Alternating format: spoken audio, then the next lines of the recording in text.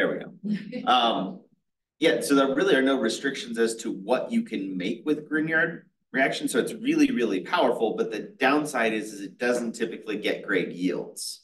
Because you have to make the Grignard reagents, and that's not a super um efficient process as far as your yields. And then you need to take your Grignard reagents, purify them somehow, um, and then find a way and then use them again in another reaction that has lots of side reactions and byproducts and things like that. So um, it's sort of like, it's a little bit of the brute force approach, because you can always make what you need to make with Grignard reagent, but sometimes if you can find a way to use reactions that have higher yields, it might be more efficient to go another route. Um, but as you're first getting started, when you're, when you're doing synthesis problems for this class, um, if you you know, that's should be like your default. If you need to add carbons, think Grignard first and then see if there's maybe a way you could simplify it. Um, it's almost always the best way to add the most, the way to add carbons in the fewest steps. Um, and then I think the, the other question that I was, that I can remember was, um, when we're reducing things with lithium aluminum hydride or um, sodium borohydride, do we need to worry about excess? Because there's several times we'll see excess. Um, hey Rob, um, we'll see excess sodium borohydride or lithium aluminum hydride to make sure it goes through multiple reductions. Um, and really, and the, the question, I think it was Lex's question, um, they asked, um, do we need to worry about having that excess before we go in and add the water? And the, it's a really good question, but actually the, adding the water for the second step for the proton transfer is twofold. It has two purposes, one of which is to use up the excess. Because when you put some, a really strong reducing agent with water, it reduces the hydrogen in the water and you get hydrogen gas, but it uses up the excess um, reagents that way. So it's a pretty good, um, it's a pretty good way to both use up the excess lithium aluminum hydride and um, the, uh, you know, get the proton transfer step to happen. Um, so I, I didn't hit close on my PowerPoint on my other laptop, so I didn't, it didn't upload to Dropbox, so it says TBD. But, um, and this is now, I believe your questions from a few weeks ago at this point, um, because we had such weird schedules.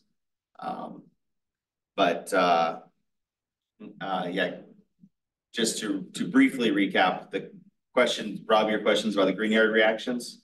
Um, they're basically, we can make anything we want with Grignard reactions, which makes them really powerful, but low yields means that we don't, we, uh, sometimes it can be advantageous to do like the acetylide um, addition reaction if there's a convenient way to do it, if it's an easy step.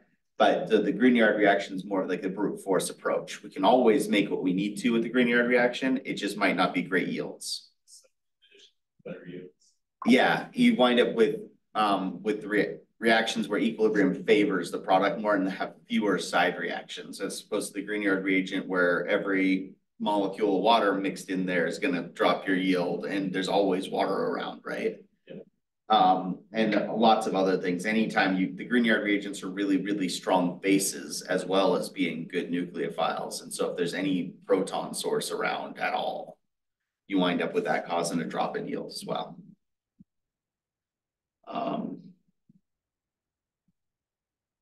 Yeah, there, that's the one. All right, um, and I hope everybody was, was, uh, had a, I won't say restful, but, um, had a good weekend, a memorable weekend. That was, that was, might be the biggest storm I've seen in like ten years. Yeah, it hit Makes just. a at one difference. point, Yeah. Yeah, I'm like. I took perfect. All the roof just. I don't remember, I mean, obviously, we've had years where we had more snow than, than this year, but I don't remember it ever going from zero to sixty like this, Yeah. um, in one storm. Right. I definitely underestimated it. I didn't think anything was gonna happen. Yeah. Like the past storms. Slow. Yeah, yeah, Friday being underreported meant nobody was ready for Saturday, Saturday. um, but. All right, so then, but last week, so last week we only had the one lecture, so we didn't have the quiz, and then I forgot to send out uh, an assignment over the weekend. because I didn't have power most of the weekend and um, everybody had other stuff to do anyway, so uh, consider that a, a break. Um, and we'll get back to it this week. Uh, it is week, it's also now week nine. We only have this week and two more and then finals. Um, which just seems like this quarter really flew by as with all the weird schedule and me getting sick and everything else, so. We're gonna get through, the nice thing is though, we still have one more quarter of the series. So we'll get through what we get through before finals, and if it's a little bit less than it was last year, then that's no big deal, cause we'll just pick it up in, in the spring quarter. Um. So just to recap, since it's been a week, uh, we talked about oxidations mostly. Um, so Grignard reactions and lithium aluminum hydrides. Um, are, and hydride sources in general are gonna give us reductions.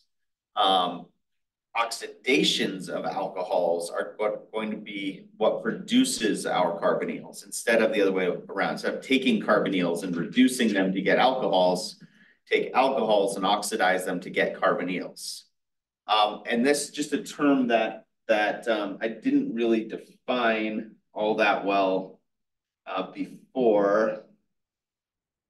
Um, let me pull up, pull up the functional group uh, figure real quick. Um, kind of, I know I've mentioned the carboxylic acid derivatives. The other term I want you to be aware of that shows up for, um, with, with carbonyls is class one carbonyls versus class two carbonyls. And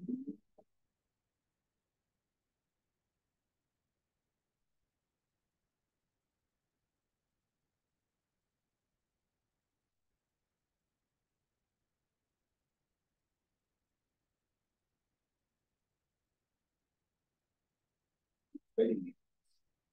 There.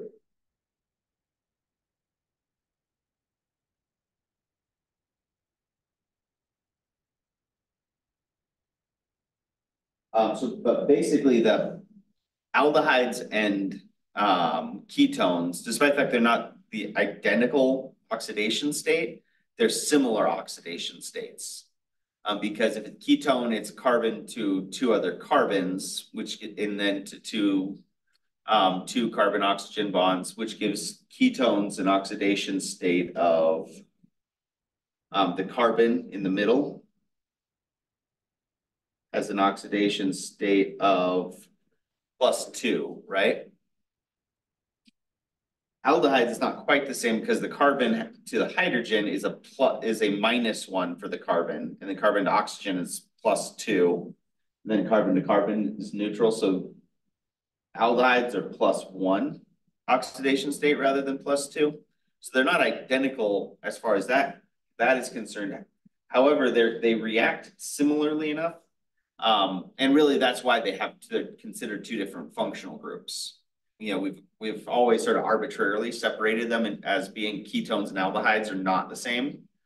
Um, and the reason that they're not the same is because they have different oxidation states on that carbon even though they react similarly.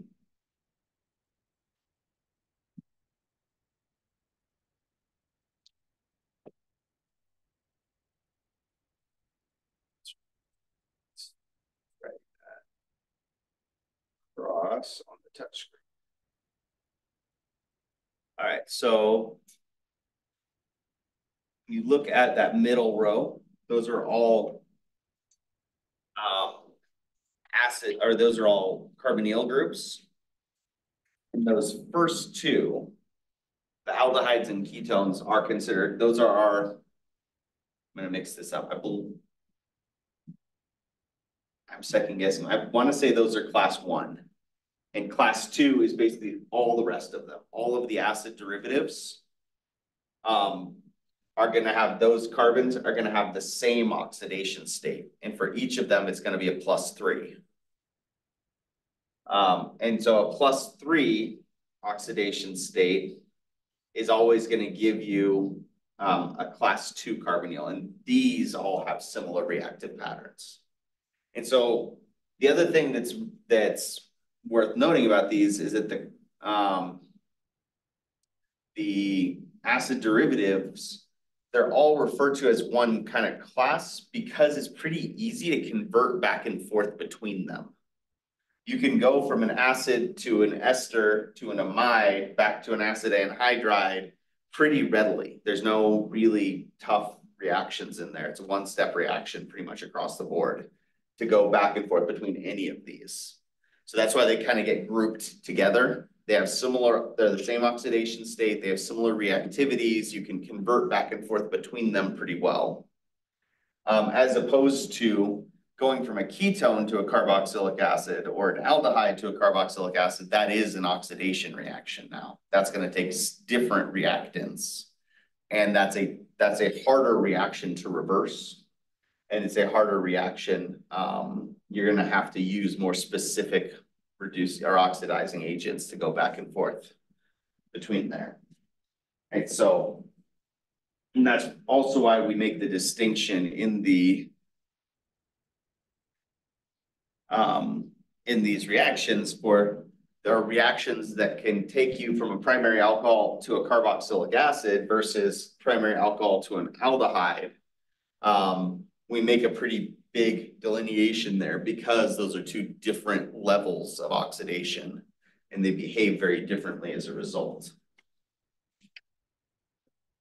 Not to mention that, and we have, that's, that's just looking at the chemical properties, if you want to take into account, account that.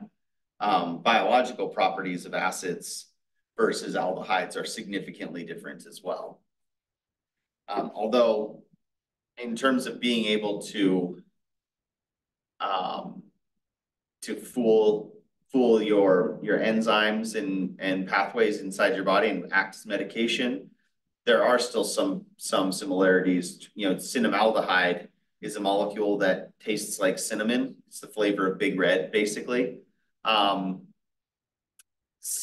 uh, cinna, cinnamonic acid is the oxidized form of that and behaves very, very similar and tastes and smells pretty similar too. It just has a higher melting point, frankly, and different solubility.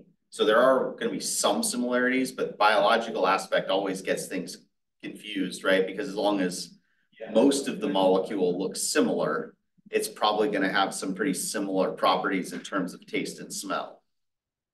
Um, but as soon as you start bringing in things like um, well, if it's the aldehyde is the part of the molecule that interacts with a specific enzyme, then changing it from an aldehyde to an acid could have big biochemical effects. Enzymes just, it's a, because every pathway is unique, every active site is unique, it's a whole different category. Um, which is why we have to learn OChem before we can really get into biochem. Because you need to be able to talk about these functional groups and their properties and pretty, pretty well before you can really get into. And here's how it affects the, this binding site. Um, because all of that's gonna be a lot more specific to different pathways. Um, as much as I loved biochemistry, I, I, did, I loved my biochemistry class so much that despite the, the professor being, writing really bad tests, I voluntarily took molecular bio with the same professor that was a seven thirty AM lecture. Um, as an elective, I didn't even need to do that. Um, so I really liked biochem, but it always was more bio than chem, because there's so much sort of memorization. There's like classes. But a lot of it is like, you memorize the Krebs cycle and what the pathway is and what the enzymes are and what their names are and things like that. It always felt more like biology than chemistry to me, but that doesn't, that's kind of an aside. Um. All right, so, and these were our primary oxidation reactions. The other thing we talked about was substitution and elimination of alcohols, right? Um, and the main category we were talking about there was, um, that we pretty much always needed to make the oxygen a better leaving group in order to make to, to have it go through an SN one or SN two with any sort of um, decent yield. Um, but we did give ourselves a couple of good pathways where we can replace an OH group with um, a bromide, which then we could do whatever we wanted with that. And we can go the opposite route. We could take a bromide and replace it with an OH group. Um, so we had a lot of, we have a lot of tools now. So what's the next thing we do? Well, once we get the handle on alcohols, we add another functional group. So today we're gonna talk about, about ethers in particular, because ethers and alcohols have a lot of similarities. Um, specifically, the, the big difference is, is that you don't have an OH group, you have an oxygen and then another R group. So you can think of ethers as linking two different carbon skeletons together. But typically, the way we think about these is that you've got your primary molecule, and then the ether is sort of a branch to your primary molecule. So we're gonna, that's how the naming system works, is it's just like adding a methyl group to a parent molecule. Or adding a chlorine to a parent molecule, you name the parent molecule and then you name the branch.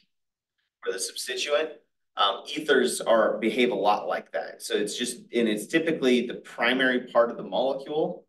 Um, the parent molecule is bigger, or at least more complicated side of the ether chain. Um, you kind of have to establish which side is the primary side, and if it's a symmetric ether. Like, um. Diethyl ether, that's the ether that's anesthetic one that we've talked about before.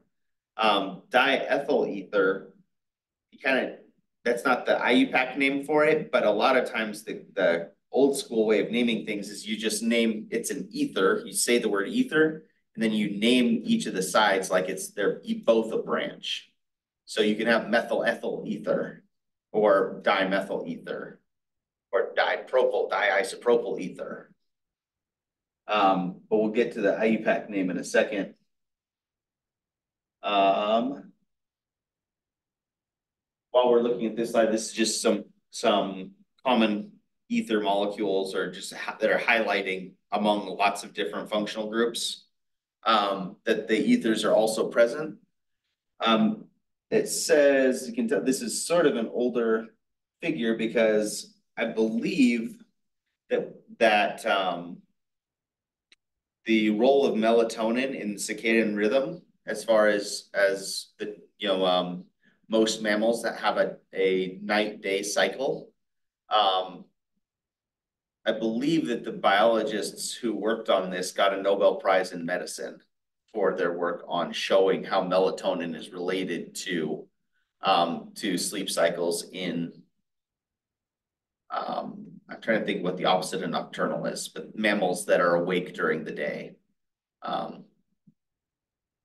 The nocturnal. Maybe diurnal. Diurnal might just be that it has, was. So I do know, so the, the vocab word that sticks out to me, because it's such a weird word, is uh corpusculant. Corpusculant means that they're most active at dusk and dawn. Yeah. Um, and so I don't know about what day, maybe that's just the default, but either way. Uh, animals that are awake during the day, melatonin serves a really important role. Um, and basically sort of, um, causing a signal cascade that starts the sleep process. Um, it typically peaks around nine PM in humans. Um, and, but melatonin is broken down by processes that are stimulated by blue light. So blue light in particular um, causes basically the breakdown of melatonin, which is why looking at your screens late at night really messes with your sleep cycle so much is because it, it lowers artificially your melatonin level. So your body doesn't feel as tired as it actually is. Your brain doesn't, isn't ready for bed. Um, and, and that's why you can wind up with that. You know, why typically after about nine o'clock at night, you should really switch to um, reading something, or at least if you're gonna be on a device, something that has like a, a nighttime mode that removes a lot of that blue light will limit some of the damage there. Um, it also, and this is not supported by science, but this is just me making a stretch. Um, I find that, that, uh, when I wake up first in the morning, instead of hitting the snooze button and going back to sleep, if I turn on my phone and I read some headlines, Um, stay off of social media first thing in the morning, but like do a little bit of, of reading on my, on my tablet or my phone first thing in the morning. I actually, it actually does help me shake the cobwebs better than going back to sleep for five minutes, but that might just be me. Um, I like to attribute it to that blue light breaks down melatonin. Um, but I don't know that that's actually true. Um, feel like that's probably true, because I feel like when you're going to bed, your body's like, okay, I'm gonna restart another sleep cycle, and then you just abruptly Yeah, like snooze, wake up again. We're tired, Well. And that's why I think waking up with the natural light, like blackout curtains are really hard to, like, yeah, it's nice to be able to sleep in, but when you need to be up, like going straight from blackout curtains to full light is really, really hard on your, on your brain, at least mine. Yeah, I heard if you like wake up and you're groggy, to like go immediately go outside with like out sunglasses and just be out in like natural light for a few minutes and it, it helps your body like wake That's up. probably a healthier option than scrolling you first wake up, but. I've also seen too, like, some people that are like, I, I saw it on, I don't know whose page it was, but he was like a CrossFit guy, and so we'd wake up at like four AM to train. But he had an alarm clock that had like a natural like sundial in it, so it builds, Yeah. yeah, it made the light, the room like lighter before he would have to wake up. There's probably a lot to that, This some Yeah. least. Alright, but back to ethers. Um, like I mentioned before, if we're naming, using the common names, although these, these are not as common of a name in this, as we've seen. A lot of times the common names are. Um, these systems are a lot less universal. Um, like the isopropyl versus the methyl ethyl. Um, the common names for ethers are really simple to come up with. Uh, but they only work for pretty small molecules. Um, so methyl ethyl ether, T-butyl methyl ether, um, dimethyl ether, diethyl ether, etc. Um, so you will still see these. Uh, especially in, in hardware stores. As in, in most things, if you, if you have to buy chemicals from vendors that are not used to providing chemicals to chemists. A lot of times they have the old school names. Um, the other one that comes to mind is, um, if you do any painting or work in, can, in, um, do contractor work where you have to do any painting. Um, methyl ethyl ketone gets used all the time, which has a different IUPAC name entirely, but you still see MEK as it's called, um, all the time, mostly in hardware stores, because when you don't know the actual chemistry, it's easier to just learn what it's called from whoever's teaching you, and that perpetuates the old school way of naming things, right? Um, the IUPAC way of naming these is to name the whole ether as a branch. Um, except instead of just saying it's an ethyl group or an ethyl ether group, we just say, use the same prefix that we would use before to indicate how big it is. And then you, instead of adding the YL, you turn it into um, you add oxy to the end. So an ethyl ether is an ethoxy group. Methyl ether is a methoxy group. You can have a um, propoxy group. And then, and then you can use the parentheses within this as well. You can have a methyl, like, for instance, a an isopropyl ether. So let's say we had, I don't know, make it cyclo, whoa.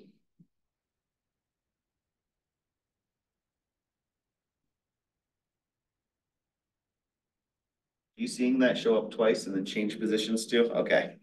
I can't pay attention when I'm drawing and also look over there at the same time, so I wasn't sure. Um, if you have an isopropyl ether like this, parent name would be cyclohexane, and then it's going to be an ethoxy group that has a methyl on the ethoxy group. So this is why learning those parentheses wound up being really powerful, right? Because we can just put parentheses and say, okay, it's methyl ethoxy.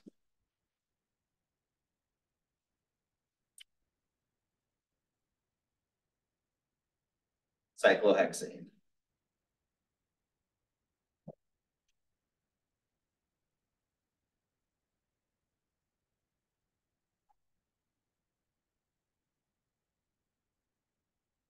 Right, so really the only difference is the fact that it's, we're naming it like it's a regular branch, just throwing that oxy term in there to indicate that there's an oxygen and then the rest of the branch.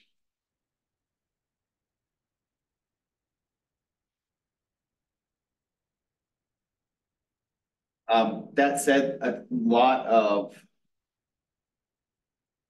a lot of ethers in biological applications, just like with all these functional groups, are gonna have their own, their own names. So once you get to these larger molecules that have multiple functional groups, odds are you're not going to be using IUPAC names, although we will still modify existing names by using these prefixes. So you can have things like um methoxy melatonin. If there was an extra methoxy group attached, you could have methoxy melatonin. And so we still use these, these prefixes to amend existing molecules. Um. Trying to think of some other good examples. There's lots of medications that take existing biological molecules and add. Add a function, add a chlorine here or add an alcohol there. Um. To, to make it a different molecule. All right, so let's, let's practice these. The, um, the morphine molecule, it was like a, a, a cyclic, like a ring, does that Yeah. still an ether then? If it's. It's still an ether. It's just going to be a different subclass of ethers. Um, I'm, and I'm blanking now. Um, there's this, I keep thinking crown ethers, but that's a different class. Um. We'll get to what the name for that is. If not today, then in the next, next lecture. Is it epoxy still an ether? Is that a different class? Is what? Is an epoxy like a subset of ethers or? Yes, so that's, an epoxy specifically is a cyclic ether that only has three sides to the ring. Um, if it's a four-sided ring, where oxygen is one of them, it's not an epoxy, an epoxide group. Um, the other one that you see all the time that you may not have realized was an ether is glucose.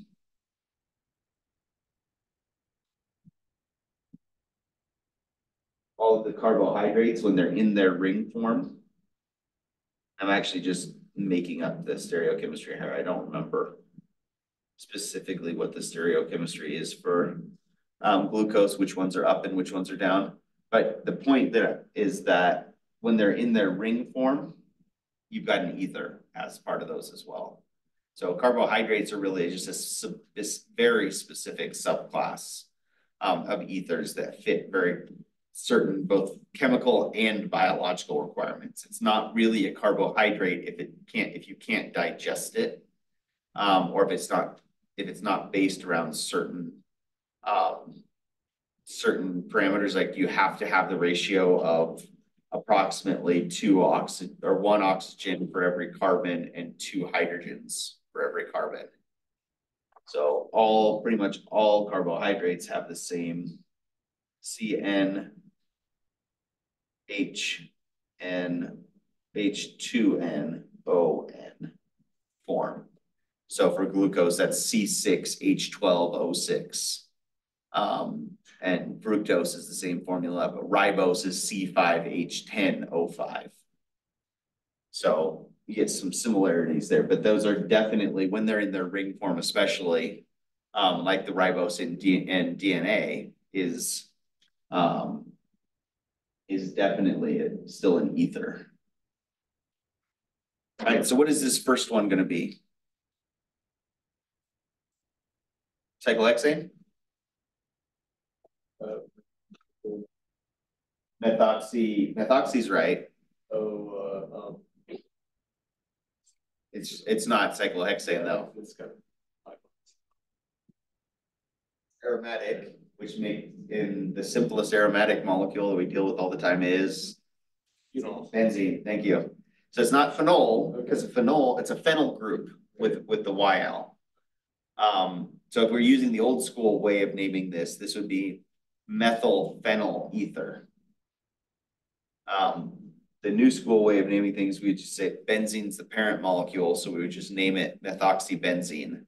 Although this does have its own common name, and I'm a little hazy on on the common names for this monosubstituted benzene, but I believe that's anisole is the common name for that.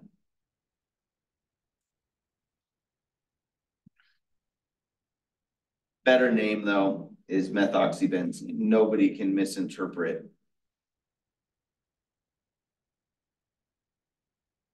If you write methoxybenzene.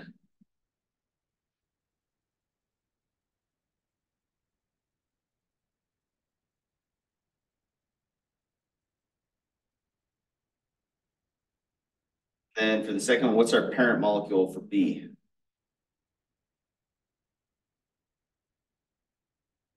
It's our biggest carbon group. So just cyclopentane, yeah. And then everything else is just named as a, as a branch. So. Three.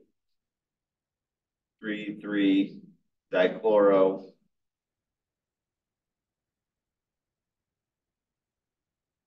I didn't quite leave myself enough room, but. One. Ethoxy.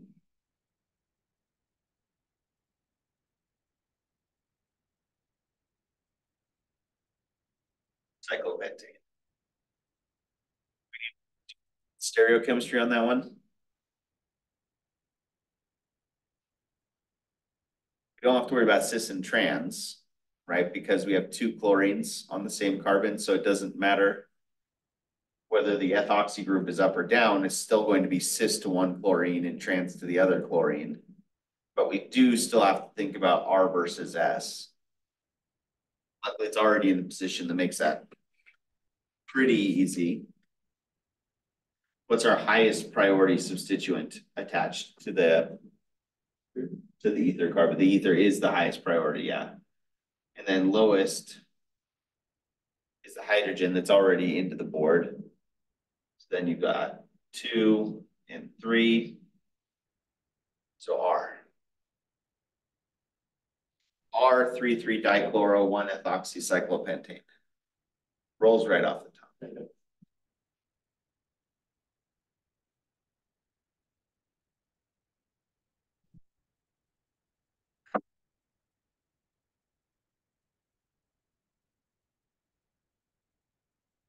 My wife has started getting flavored coffees.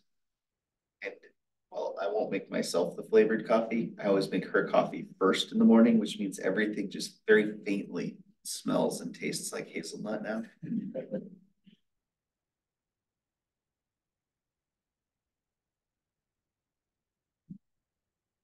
All right. Here's the one that I kept, when you asked me about the cyclic ethers, this is the one that kept getting stuck in my head, because this is a very specific type of um cyclic ether.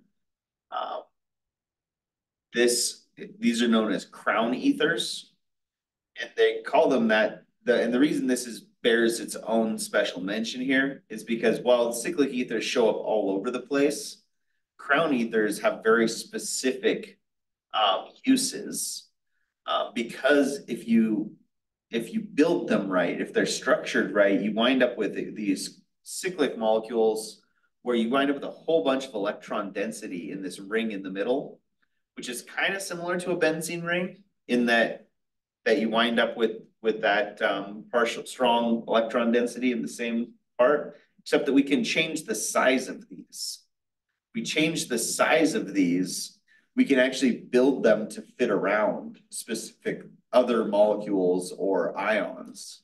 Um, so these actually have a lot of a lot of potential in applications like treating um, heavy metal poisoning. Because effectively what you can do is by using, say, fifteen crown five, um, if that's the right radius of ring to fit around, say, a lead atom, lead ion, it's gonna bond really strongly with that lead ion, because the lead's got a plus, a positive charge, either plus two or plus four. Um, and so you can basically surround it with this molecule that keeps it from interacting as strongly with um, enzymes. So You have to be careful with it though, because this is also the same basic structure that holds the iron in place in hemoglobin as well. Right, a hemoglobin group is very similar to this, except it's, it's. Let me just pull up. Structure so we can see the similarities. These are synthetic. They, um, when noticing how heme groups worked in hemoglobin and myoglobin, um, it was basically was, was thought, okay, well, we can make a molecule that's similar to that. So the heme glo- group in hemoglobin is this flat structure that has all these nitrogen lone pairs pointed towards the middle to the empty space that kind of holds an iron ion in place. Um, which in terms of the uh um, three D structures looks something like this. So you can see how that is pretty similar to the structure. So basically, um, the chemists and biochemists basically said, well, we can make a molecule that's simpler than heme, than a heme group. Heme group specifically is this ring with a, uh, with an iron attached to it. Um, however, if you don't have the iron attached, just that flat molecule with the rings all attached to each other, so it's rings within rings, um, is known as a porphyrin ring. Um, but it's, it's a similar, one of the, one of the main ways that, that heavy metal poisoning occurs is heavy metal ions, by that I mean anything basically from the fourth row down, can wind up displacing metal ions that are supposed to be in your body from groups like this that hold them in place. So we can make a, a better molecule that can bind to these heavy metal ions better than say a heme group, then that can allow us to then remove them from the body with treatment over time to sort of reverse the effects of heavy metal poisoning faster. In theory, most heavy metal poisoning, if you remove the toxin, most heavy metal poisoning occurs over really long periods of time. And if you remove the toxin, the body eventually will get rid of it. Um, However, if you want to speed that process up so that you're not suffering from lead poisoning for, um, you know, twenty years while you, your body finally gets rid of it, you can do it with, with therapies that basically go through and bind to those lead ions better than the enzyme, than the lead ions bind to the enzymes. One of the ways that you do that is by using crown ethers. Is that experimental or did they? Um, they're, they're looking at it for a lot of places, so the, the current standard treatment is still chelation. So this is a form of what's called chelation therapy. When you make that metal ion organic complex, that's called a chelate. Um, and so you still see that, in fact, if you, they, I think there's even a, you can do that like over the counter, you can go, there's a place in Reno that does chelation therapy. Um, where they basically will just treat you with a molecule called EDTA uh, which is ethylene diamine tetraacetic acid. Um, what's that? Is a complex ion? It's a complex ion, you make this complex where you basically surround metal ions with that. If you do that too often, you wind up do, you do wind up pulling out the metal ions that are supposed to be there as well. So it's good for removing toxins, but long-term, it'll also remove the stuff that you want to stay there. So like with most things, poisons in the dose. Um, but so I don't, the other place they're looking at these is with drug delivery. Um, because if you can get it to hold on to a, a specific ion, for instance, like platinum ions are toxic. Um, but they're also used in treating cancer. Because the whole idea with most cancer treatments is to kill the tumor, right? But that turns out that kills a lot of other cells as well. And so if you can, if you can direct where the toxin is delivered in a very specific way, then you limit the side effects of chemotherapy and, and radiation therapy and things like that. Um, so they are using it in some places. Uh, I don't know the specifics. I think cisplatin is the one that I can think of that I believe is a platinum ion that's in a, I think it's a crown ether.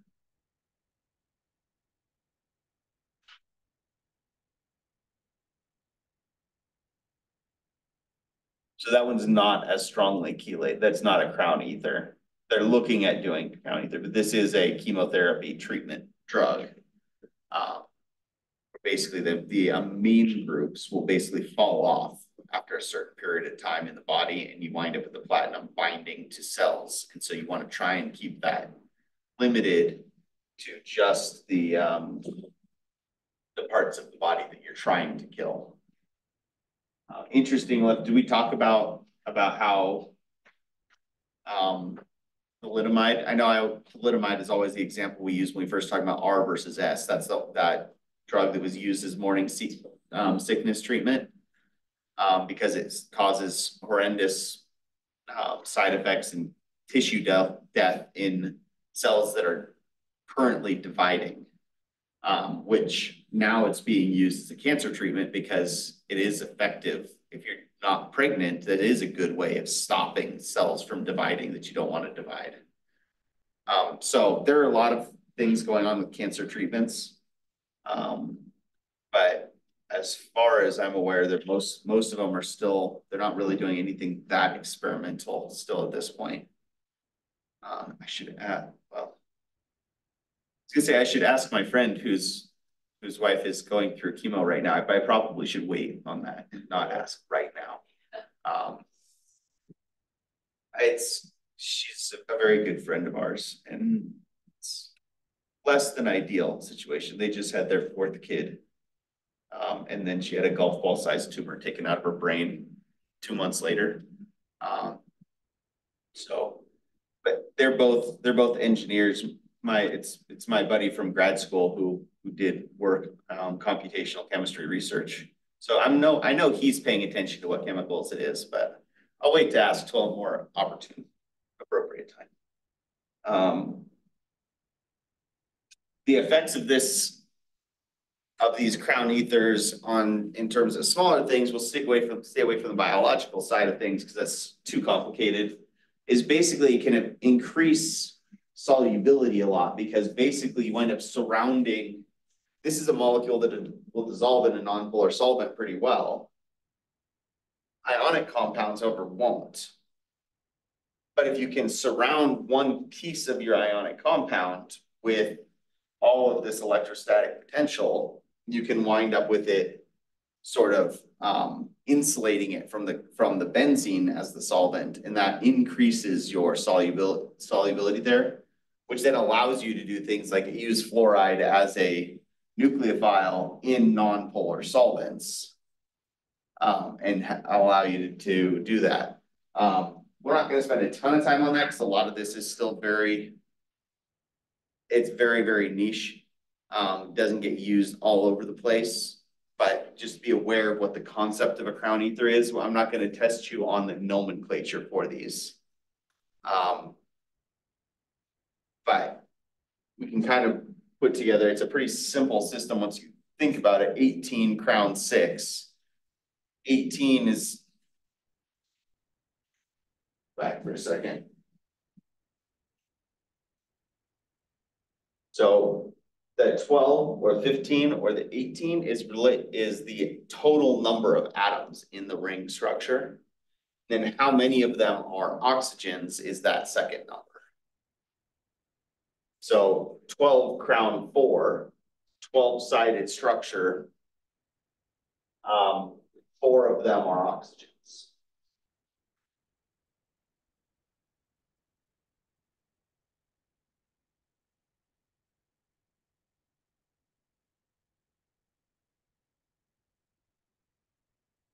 All right.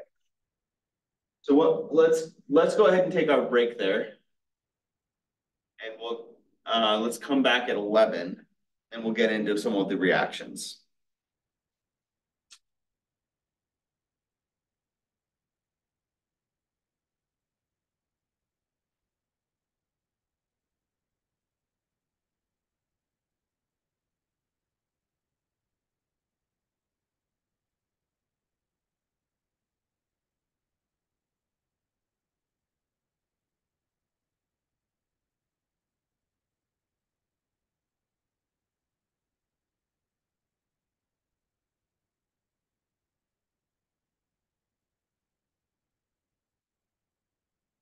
Make sure lab's all set up for us later real quick, and Mario hasn't put everything away. She's back, Yeah, I'm worried and she's too one. efficient. Yeah.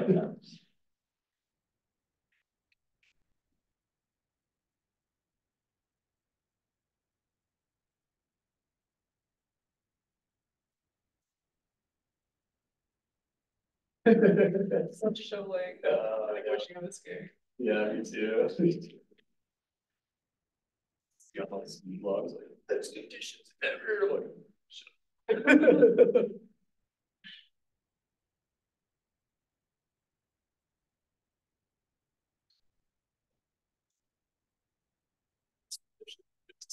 up. Oh, I'm sure. Yeah. You know, like past, uh. Past routes. Bad. Yeah, like, it was weird, cause you had to work like every day except for Friday or Sunday, um, and like driving it through the storm was fine. Once the storm was over and everybody came out, it was like a nightmare. Like, the Trucks were all stuck and like, it took us like an hour to get like across town. Faster just to walk at that Yeah. Other was a dude walking his dog and I was like over by Applebee's and then I saw him like kind of pass me and then he was going up and then I didn't pass him again until like past like El Dorado Beach, like two miles down the road.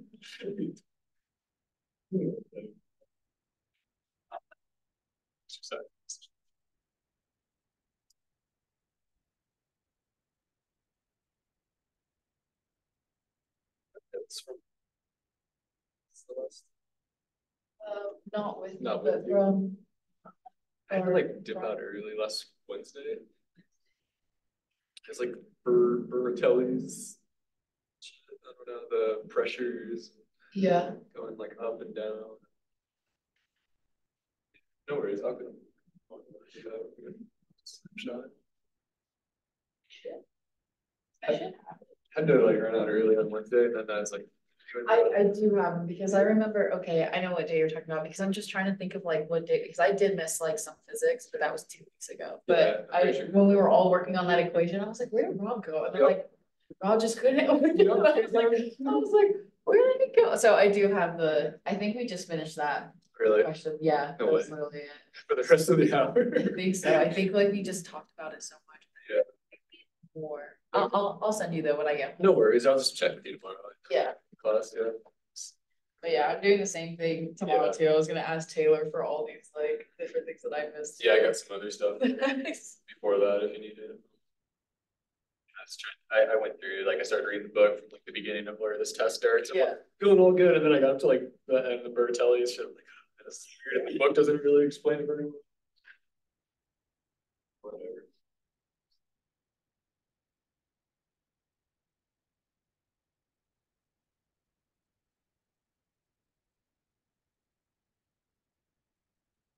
Side note, look up when you walk out that door.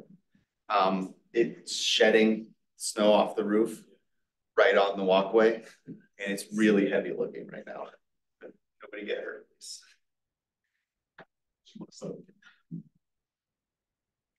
Anybody do anything fun that wasn't snow related this weekend? stay in my house. Everything is snow related this weekend. I, my son's, my eldest son is finally to the age now where he can appreciate things like. Uh, our two, we call them the elders, because we have really two groups. We have a ten and an eight-year-old and then an almost two-year-old. Um, the ten and the eight-year-old got to watch their first R-rated movie last weekend. We watched Zombieland, because my son has been going through like, well, what, if the zombies came, what would we do? Things are like, we should watch, because they're like, well, you gotta, you gotta think about your cardio, and it's like, what? So we had to watch Zombieland. First time. movie. Uh-huh. They, they did pretty well with it. And then, so then last night I took him to Dune, my, my son, because he got really into the first movie. It's one of my favorite books of all time. So, and we didn't get to see the first one in theaters, which I still regret.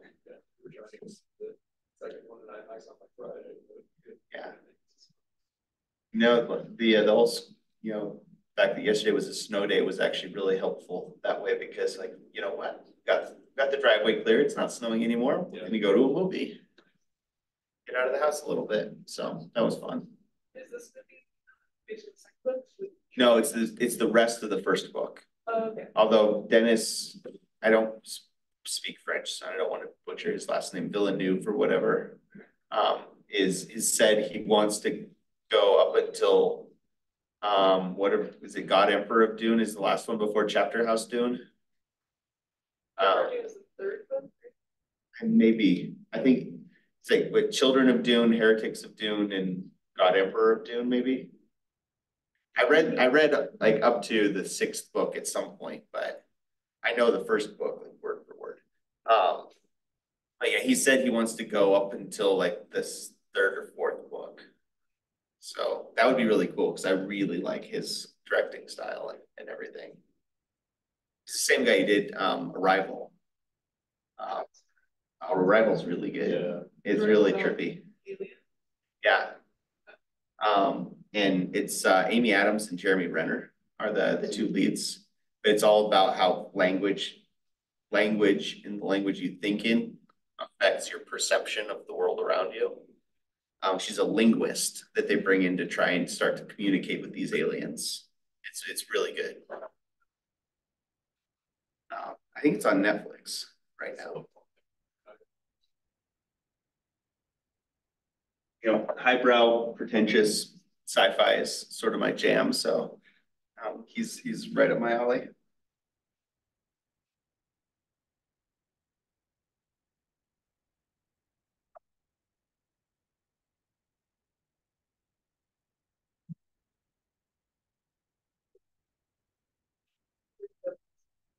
One you were talking about was twenty sixteen. Twenty sixteen, Okay. yeah. Is the ninety-six one any good? I don't know that that's related. But that. I, I don't even know if it's the same story. That rival's just not that uncommon of a word. well. Um, Although if you're into Dune, the original, not the original, but the, um. They, was it Lynch? Lynch who did the, the one, um, the last cinematic release of, of a Dune movie. And you Dune attracts really weird, pretentious directors too, which is probably why I like it so much.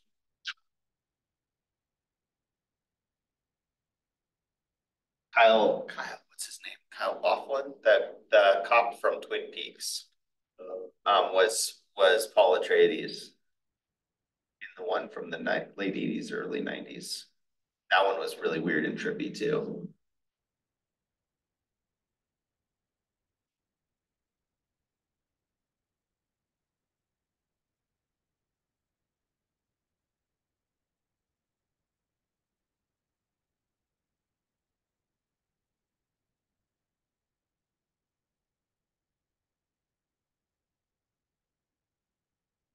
Six. That can't, that can't, be. I mean, Charlie Sheen did some out there stuff, Who's in there? but The arrival, arrival in ninety-six and the one twenty sixteen. Oh, yeah, that's what I'm thinking. okay. Is, is it, does it look like it's the same? It's not the same director. It, loo- it looks like, well, yeah, it looks like it's the same, um, plot. Essentially. There's like, Okay. they discovered intelligent alien life, but they're not.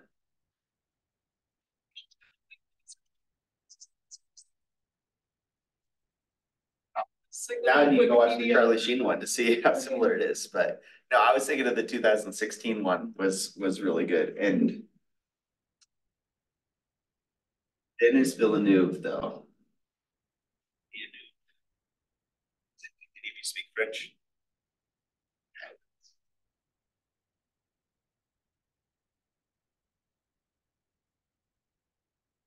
And he's from Quebec, so who knows how it's actually pronounced that speaking French would necessarily help because Quebecois is so different than French French.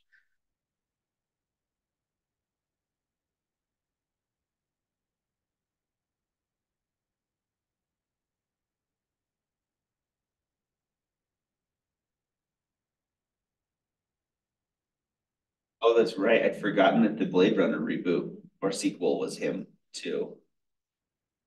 Like I said, highbrow pretentious sci-fi is sort of his jam.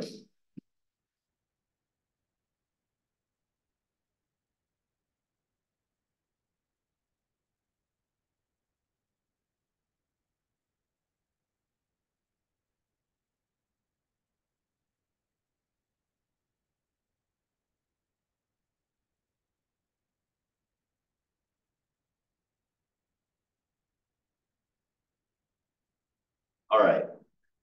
Well, put aside sci-fi movies for now. Can't believe I'm saying that.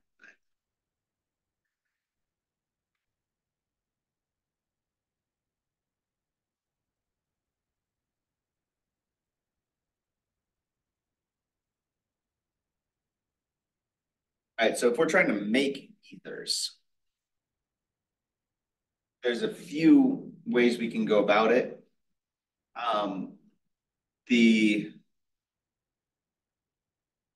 So the simplest way to do it is just an SN two, where you replace, if you take an, an alcohol and put it through an SN two reaction to replace the. Um, OH group with an ether group instead. Um. This has limitations though. And, and it really is, it's pretty simple. First step is you pro, it has to be acid catalyzed because the first step is you protonate your alcohol to make it a better leaving group.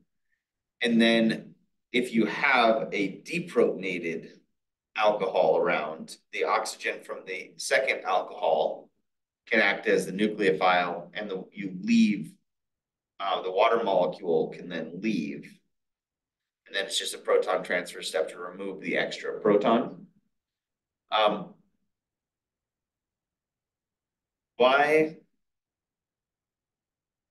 Why would these limitations make sense? Why would it only work for primary alcohols and only produce symmetrical ethers? Take one at a time. Why does this only work for a primary alcohol?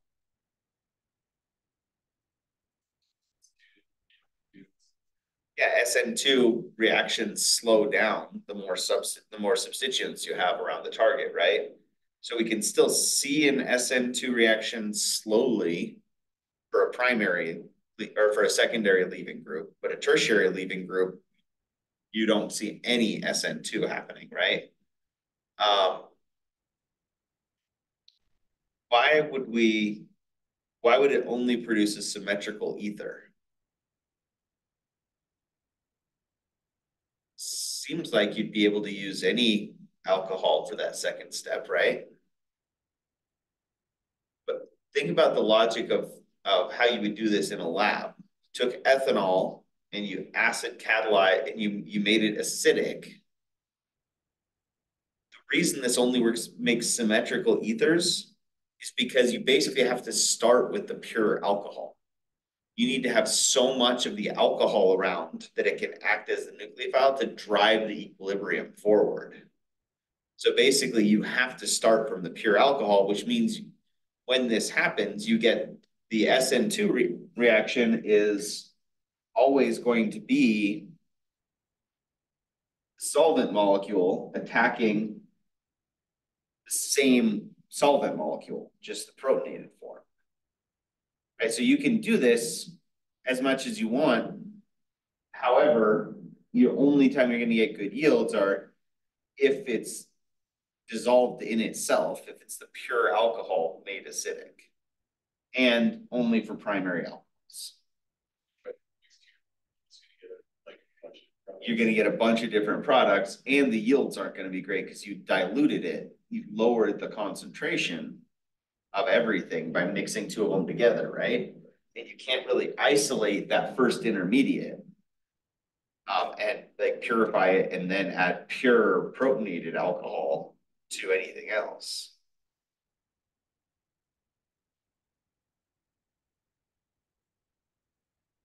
So what we typically see instead is called the Williamson ether synthesis. The Williamson ether synthesis, once again creatively named, um, really straightforward. Instead of being acid catalyzed, we do this under strong basic conditions. But you have to be careful with strong basic conditions that you don't wind up um, with competing side reactions, right? So the way to avoid that is the basic conditions, the base that they use is just a hydride. If you have a hydride around, that hydride can basically steal the NH plus from an alcohol molecule and make it into the deprotonated form, right? And if you have a deprotonated form of molecule, that's a really strong nucleophile. And then, so then you just, step two is expose it to an alkyl halide. It's still gonna be an SN two process. We're just changing the order a little bit and we're making, making the alcohol itself um, the strong nucleophile. And the fact that we're doing this with, with hydride means that when we deprotonate the alcohol, we produce hydrogen gas, right? Which leaves the system, drives it towards equilibrium. And we get a salt that we can actually then purify and, and reuse. So depending on what the blue R is, we could wind up making something that's really pretty shelf stable. Make sodium ethoxide or sodium methoxide or sodium isopropoxide. And then take that deprotonated alcohol and expose it to whatever alkyl halide we want. As a way to make an ether very, very specifically. Um, and try to limit the number of side reactions.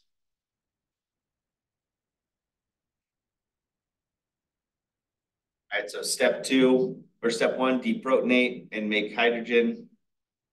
Step two is your deprotonated alcohol acts as a nucleophile. It's still SN2 though, so we're still limited by sterics. And sometimes that might affect what, what we consider the way we write this out. So for every ether, every ether has two sides to the ether, right?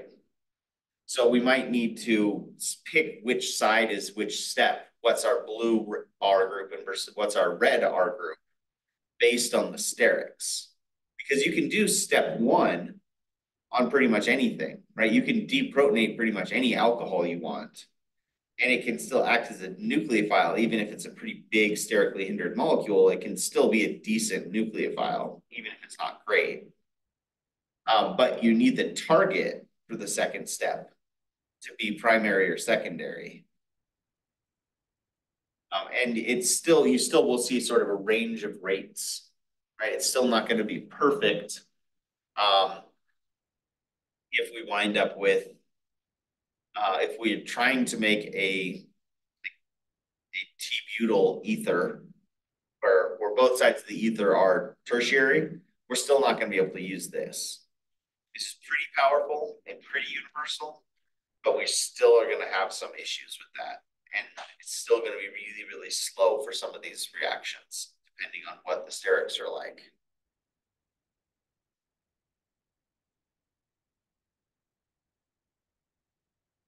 Here's an example of how we could make so MTBE um, is methyl tert butyl ether.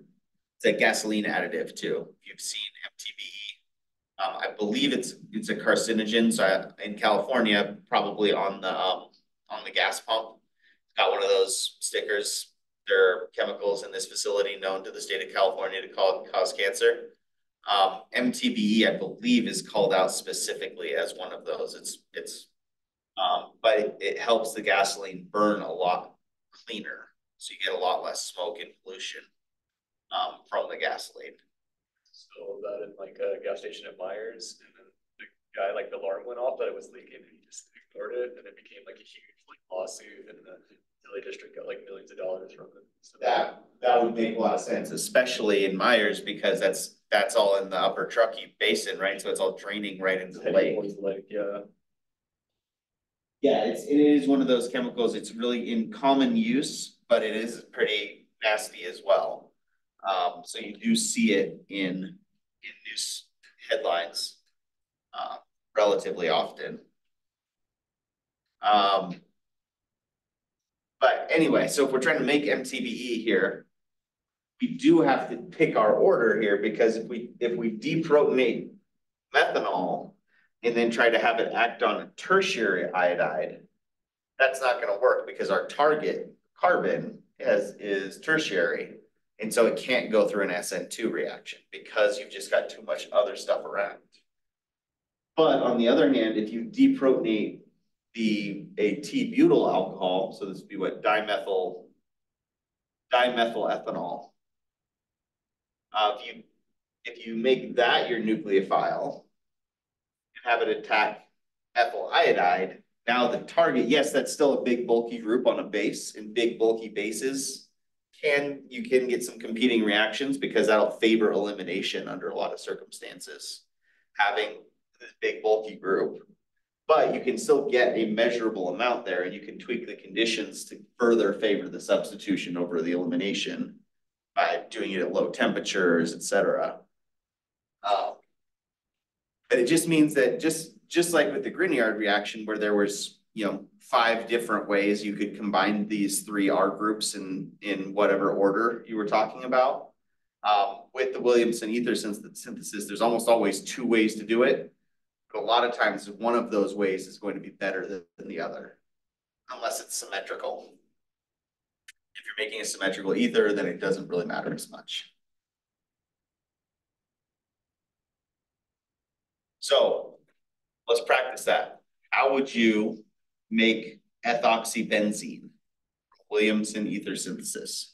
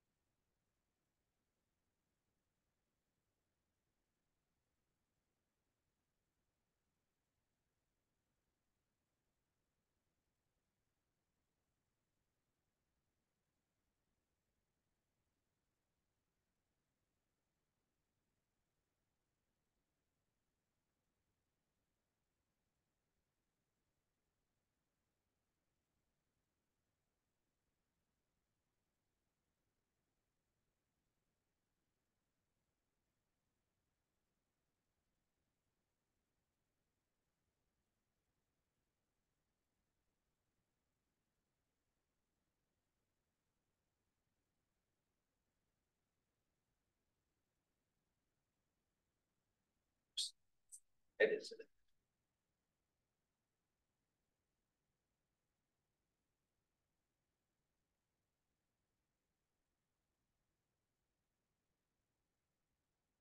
So option one. I kind of, I circled the original molecule in sort of a Venn diagram looking. First, I had them separated with the red circle is just the benzene ring and the blue circle is just the ethyl group. Then I realized that one of them has to start with the oxygen, right? So really, your choices are either you start with the, with phenol. You've got an oxygen attached to the benzene ring already, and then ethyl bromide or ethyl iodide is gonna be your target. Or you can start with ethanol.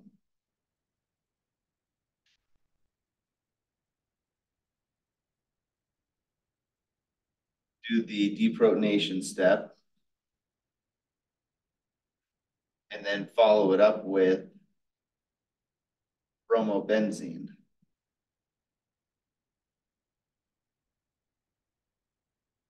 Does one of these make more sense than the other?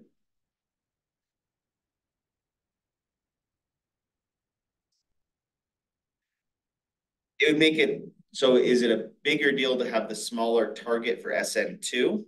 Or smaller nucleophile?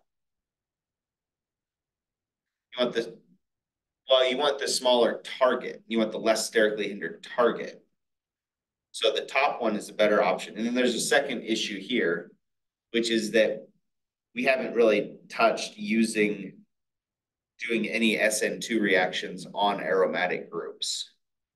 Right? That's not aromatic carbons are not good targets for SN two.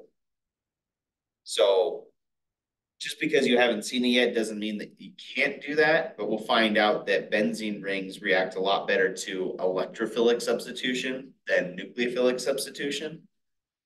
Um, so in general, we want to avoid doing any sort of nucleophilic substitution on a benzene ring.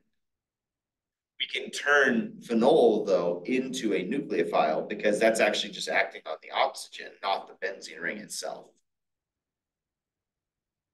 In theory, the bottom one could potentially work, but because that aromaticity is just gonna throw too many, too many wrenches in the, in the works, so. Not that one. Phenol exposed to sodium hydride is gonna make sodium phenoxide. I believe would be the IUPAC way of saying that. Take phenol and you drop the L and you add oxide.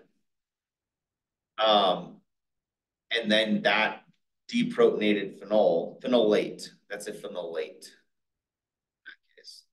Um, the phenolate would then act as the nucleophile and the ethanol is the target for the nucleophile.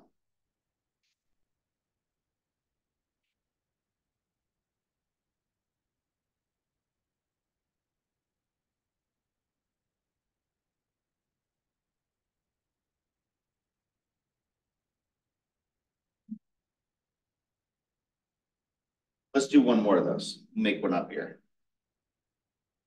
Let's see, we wanted to make.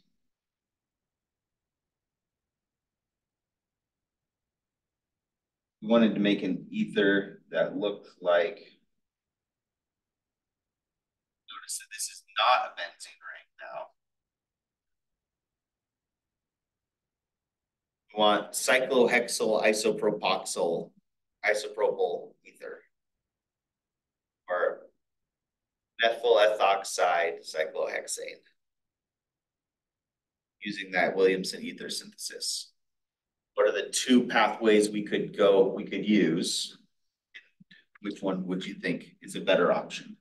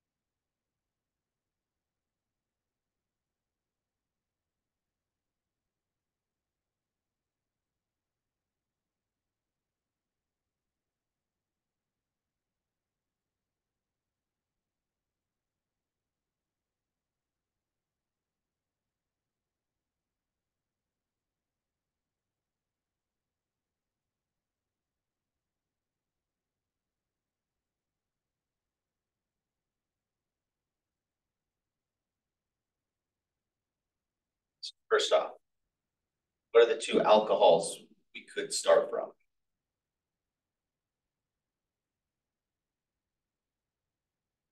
Cyclohexanol or? Uh, be two propanol, right? And before, before you name them though, it's usually. There's our cyclohexanol. And it, because it's an isopropyl group, it seems it's tempting to call it a methyl etho, methyl ethanol. Um, but when you draw it out. It's a propyl with the oxygen on the second, so just two propanol. Or isopropyl alcohol, that's rubbing alcohol, right? So those are the two molecules we could start from. Both cases, the first step is going to be NaH, right?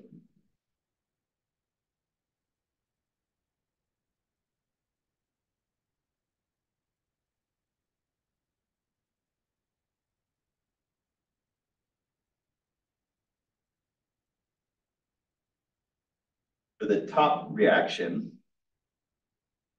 what are we gonna have as our second?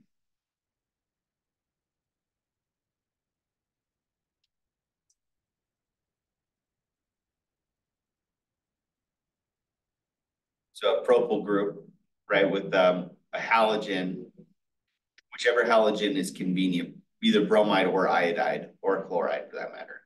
Um, depending on what we have in the stockroom, right? It's iodide would be two iodopropane or two bromopropane. And on the bottom, gonna be bromocyclohexane, right? Again, a lot of times we just pick whether it's iodo versus bromo, just to make sure it's at least a liquid at room temperature, because we really don't want to be dealing with any, you know, because bromomethane is a gas at room temperature. We definitely don't want to be having to deal with any gaseous byproduct or um reactants. Um, but really, as long as it's at least a liquid at room temperature, either bromo or iodo would work for either of these liquid, you've noticed that in OChem, we work with liquid reactants a lot because they're easy to measure out. Um, but gas, but solid reactants work just as well. Um, you just have to go to the trouble to dissolve them first. If you have a liquid reactant, then you don't need a solvent. Uh, that doesn't really particularly matter one way or the other. Is one of these a better option or are they both gonna be roughly the same?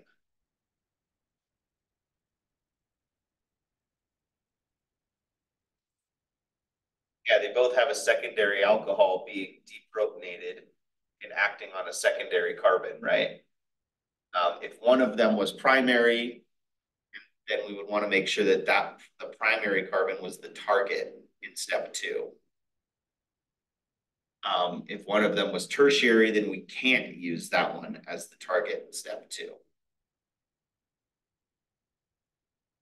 But either way, in this case, this would be, this would be a case, just like with a lot of the Grignard reagents, uh, where we would just be like, okay, well, what do we have in the stockroom? I know we have isopropyl alcohol in the stockroom. Do we have bromocyclohexane in the stockroom? Maybe, maybe not. Probably the, if I had to guess, just based on what I think, I know we have cyclohexanol as well. We have both of the, these alcohols in the stockroom, in our stock, stockroom right now we might have bromopropane or iodo-propane. I would guess that the second option might be a little more likely for us to have at our tiny stockroom here. We'll be able to see in a couple weeks when we move because Mario is going to be hard at work during spring break, um, getting all the chemicals moved turns out that's actually a non-trivial process. Moving is always a headache, right? But when you're moving hazardous chemicals, um, then it's even more of a headache. So she'll be able to let us know which of those we have. If we actually cared to double check our answers on this.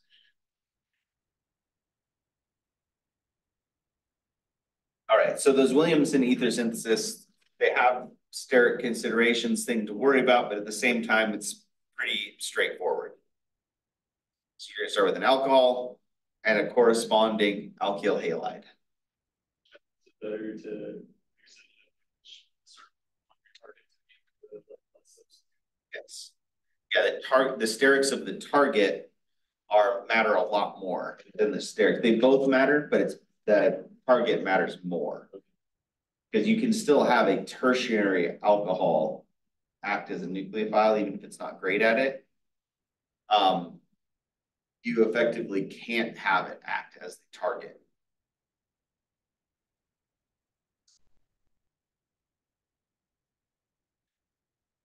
Um, we can get ethers to react backwards as well. This is basically the reverse of the first reaction that we started with, right? That was acid catalyzed ether formation. You can also do acid catalyzed um, ether cleavage, where you basically just chop it up. Basically, but the first step, well, what is one positive? I'm telling you that it's basically undoing that first mechanism. Try drawing a mechanism here. See if you can work out something that seems plausible.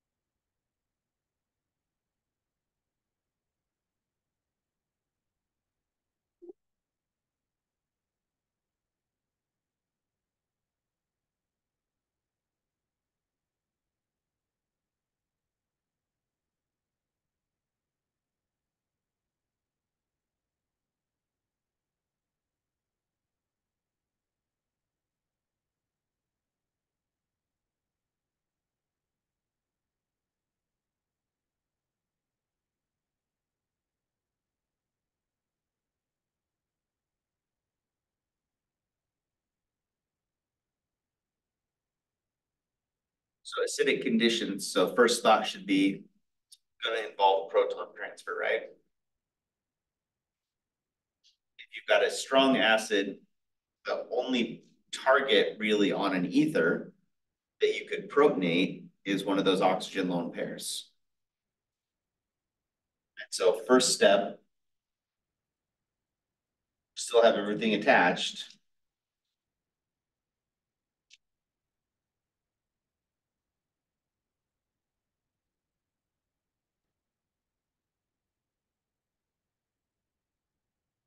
Got a protonated. A protonated ether. So what's the next step going to be?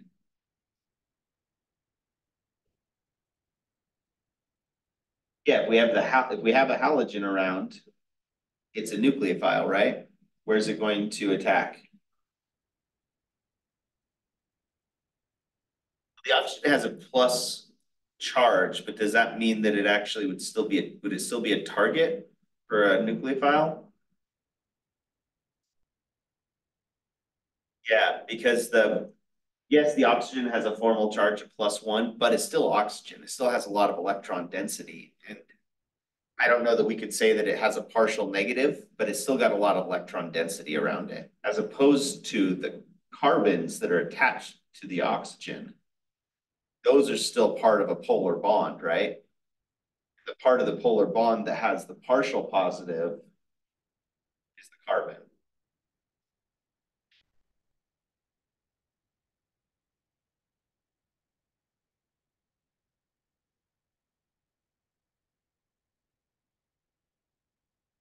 But in order to attack that carbon, so and effectively, yes, we gave the oxygen a positive charge, but don't think of that as giving the oxygen a positive charge. Think of protonating, when you protonate an oxygen, really what you're doing is you're making it a better leaving group. It's no longer a good nucleophile, it's a good leaving group. Because now what do we get? We're gonna get a red R group. Alcohol attached to it. Our blue R group with chloride attached.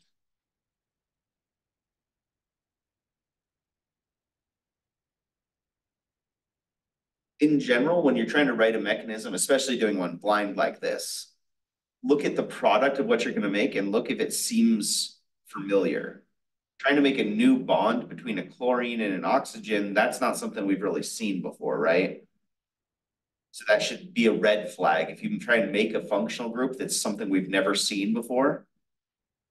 That's a hint that maybe you picked the wrong target. Easy to do. Like I said, I think I, I used myself as an example. My worst chemistry test score ever was when I thought I had mechanisms figured out and could do them on the fly. Um, and I tried to do, to write my own mechanism on a test. Um, with totally blind, like I don't need to memorize mechanisms, I'll just figure it out as I go. It's just, we just follow the negatives around. What's, how hard could that be? Um, it's pretty hard, turns out, until you really get the hang of it.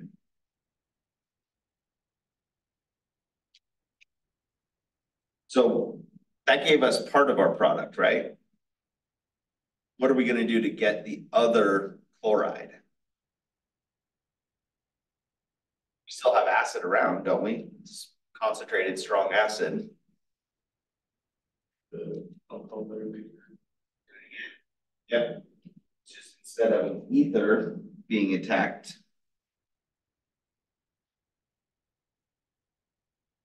Or being protonated, you're gonna protonate the alcohol instead.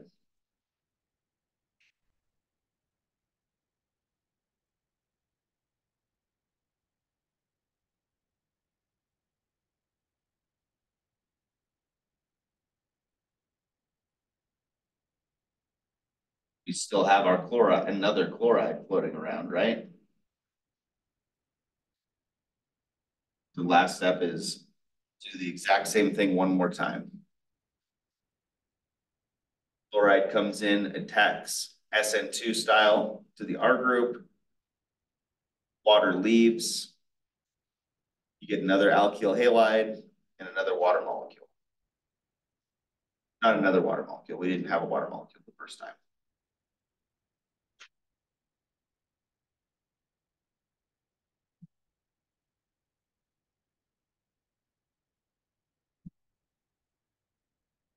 Net result is you took both of the oxygen carbon bonds and turned them into oxygen hydrogen bonds to make water molecule.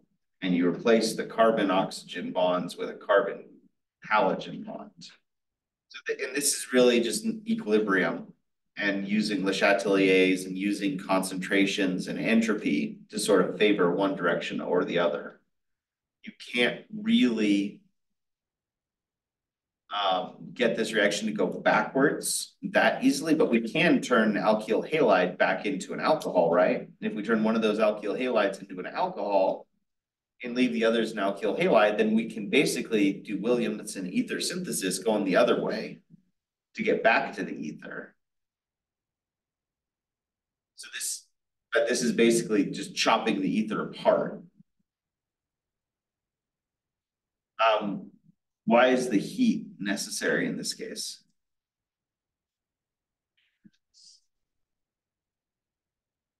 The other one. High, high heat favors high entropy, right? Yeah, so. Yeah, and so rather than have, exactly, rather than have um, one big molecule, it make, it's more entropic, it's more disordered to have three small molecules.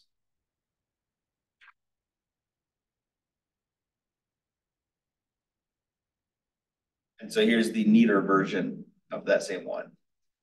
Protonate the ether. Halide acts as a nucleophile.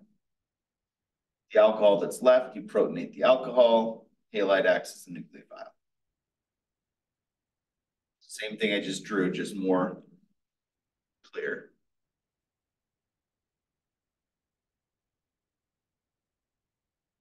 So let's just do some practice with these.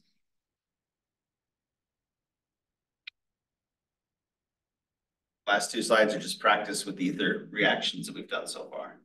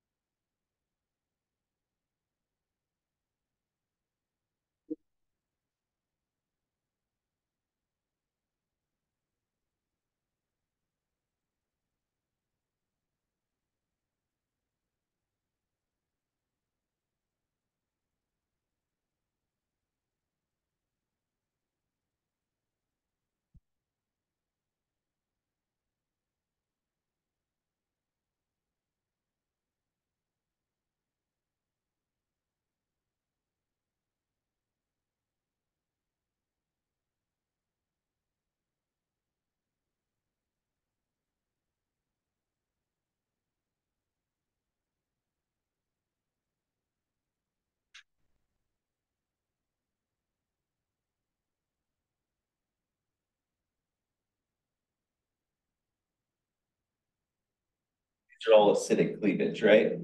It's just a matter of chop it up and see what you get. If you can chop it up completely. a given, especially when aromatics are involved.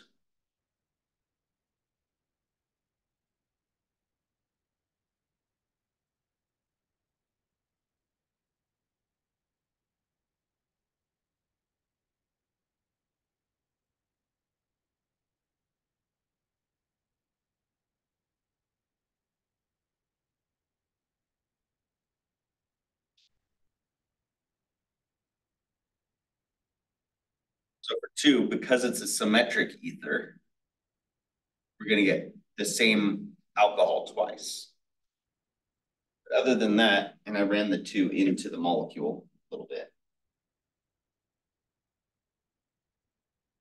So it's gonna be a methyl. Two methyl, one bromo propane. You get two molecules of that plus water.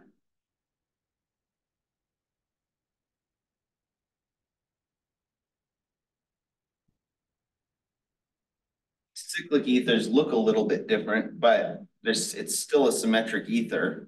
You're just gonna wind up um, with the same thing happening to the same molecule.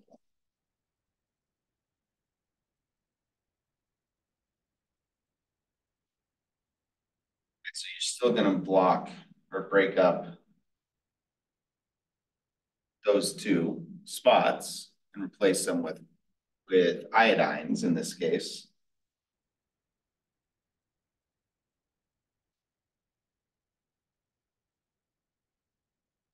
And when you're doing with the, these cyclic ones where you have the same thing happening twice in the same molecule, a lot of times it's helpful to draw them, the carbons in the same spot physically. If it makes it look a little bit cramped, both of the carbon oxygen bonds, replaced it with carbon iodine bonds, right?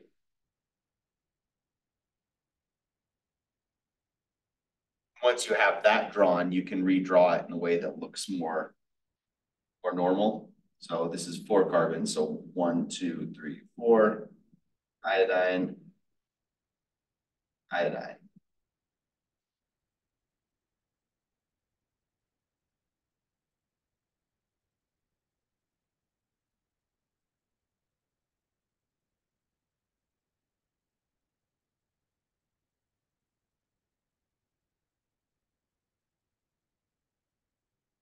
Now, when we see a benzene ring though, we should be concerned, right? We're not going to just chop this one up wholesale. Because benzene rings aren't good targets for SN2 reactions, since replacing the oxygen bond with a halogen bond was an SN2 reaction basically not gonna be able to break a benzene oxygen bond. So we'll chop it up there, so we're gonna get phenol and ethyl bromide.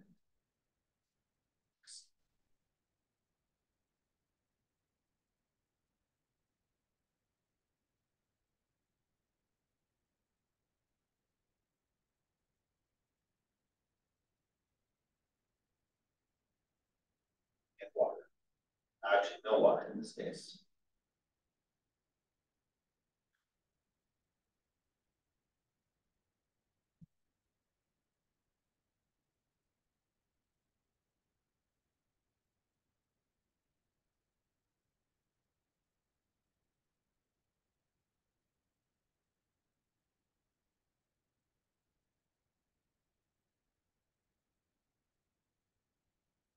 So what do we get with D? Have it all as one molecule now. Everything's attached to the benzene ring. Can we do this reaction at all?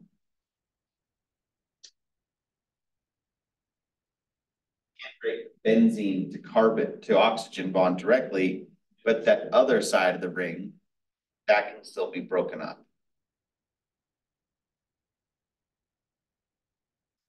Okay, so you're still gonna wind up with something that looks kind of like a phenol. It is a phenol. Just a substituted phenol. On the other side, be careful you count your carbons. Well, 'cause it's easy to mess these up. So three carbons. And then your iodide. So one, two, three, then iodide.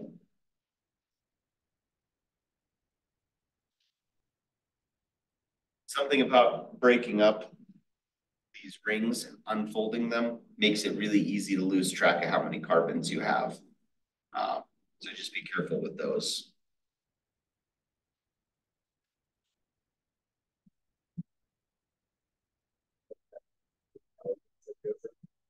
Yeah, yeah, because it looks like you're adding another carbon because it takes, it looks like it's taking the spot of a carbon.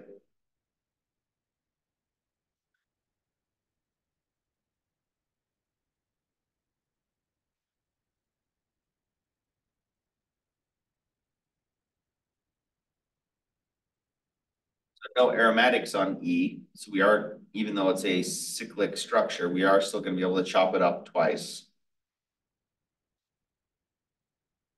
And it's just a matter of making sure to redraw everything in the same position, so you don't lose any carbons.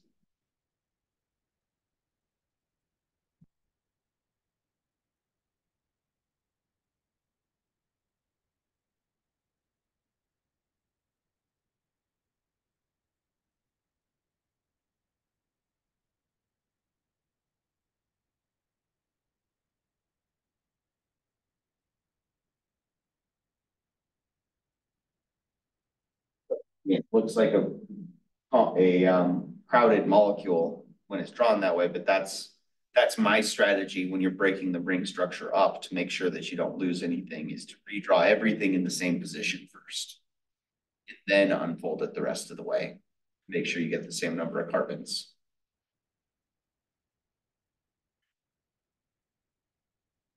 Two, three, Four. Two, three, that's gonna be an octane. One. One five. Diiodo, five methyl octane, probably count from the other side of the molecule. Uh, and then it's gonna have some stereochemistry associated with it as well, but if I counted correctly.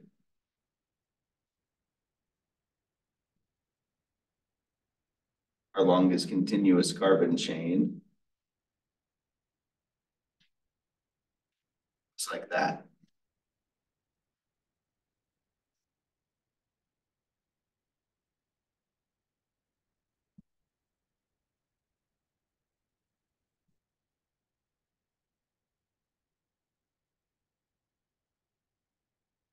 By comparison, F is really simple, right?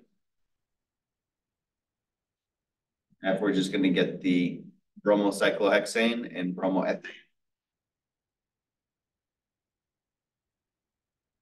I. Keyboard, hang on.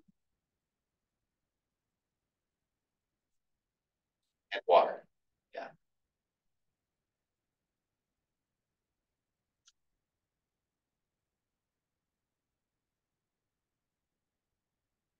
The only ones where you don't get water as a byproduct are gonna be the two um aromatic ones. Because you can't chop off the oxygen entirely if you can't break the carb, the benzene oxygen bond. So C and D won't have water as a byproduct. You just have a leftover alcohol still, the phenol group is still out, is still there. But For all of the rest of them, the oxygens are gone, replaced with water and halogens. The oxygen's gone, turned into water, it's replaced by the halogen bonds.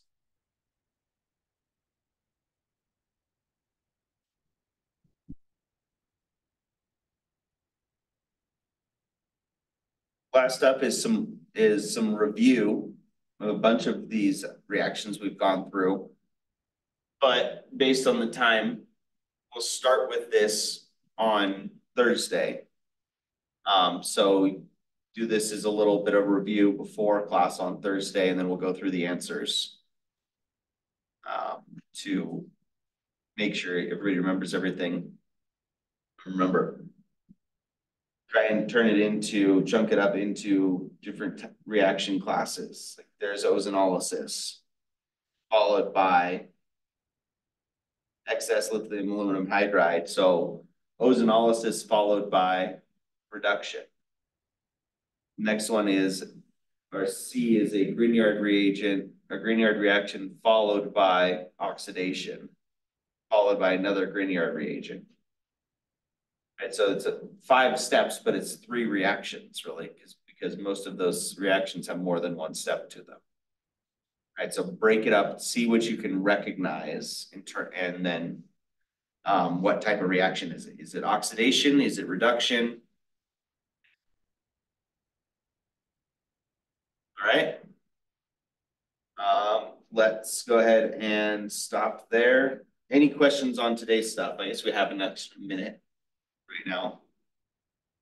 Digest for now. You can always ask questions in lab if you have them.